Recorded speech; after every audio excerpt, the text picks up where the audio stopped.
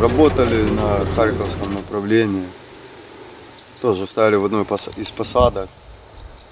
Ну, они там залеты делали свои, замаскировались там стали. И одна пролетает, и потом идут парно, ну, работает. Ну и я увидел, все, он огонь, огонь. И погнал в гашетку, в тап.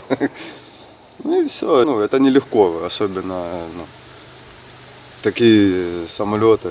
То есть. Но шанс был, потому что, ну, во-первых, элемент неожиданности, они шли на удар, то есть Вони були зосереджені а на собі. они чуть ну, сбавляли швидкість. А так, ну, все прошло как прошло. Так куди Пузо ти? раскрыло и как раз туда длинная очередь и пошла. Дымился, блин, и ночь, и на следующее утро еще ну, было дым. Ну, мы не знаем, мы думали, что они где-то, может, куда-то ударили, ну, то есть э, какой-то объект повредили, а оказалось, что это она уж ушала.